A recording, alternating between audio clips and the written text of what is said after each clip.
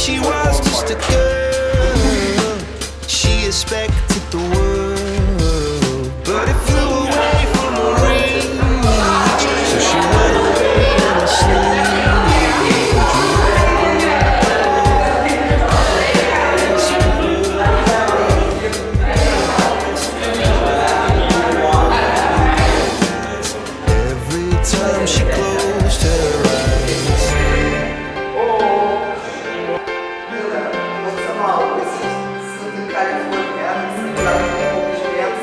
It will take between 10 and uh, 15 minutes. And now the last round, the third round, uh, you can ask a member of one team or the whole team a question. But this question uh, The main topic of the youth exchange were Oxford debates. Uh, Oxford debates are debates in which uh, there are involved two teams and they have to bring arguments and counter-arguments about some main topic. Uh, also with an audience. It was a very good project because it offers us it offers us the uh, possibility to uh, see uh, things from another perspective because we had many Oxford debates about many different things and this helped us very much for developing our perspective and our thoughts about everything that we have around us.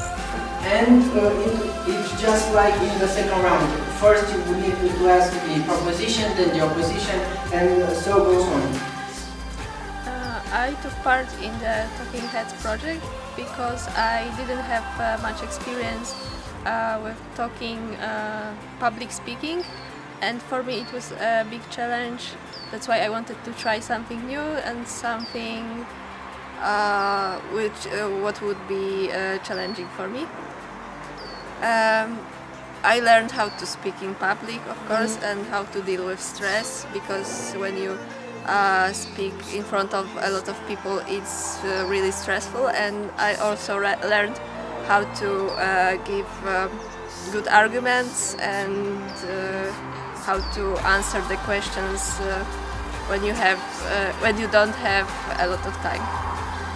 Uh, uh, I think that Oxford debates are a really good uh, non-formal, non-formal, non-formal education method um, because um you can learn a lot of uh, things there, uh, and non-formal education is about learning.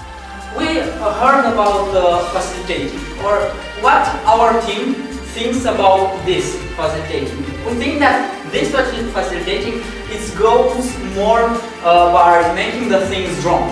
And uh, this, uh, this idea will be discussed further by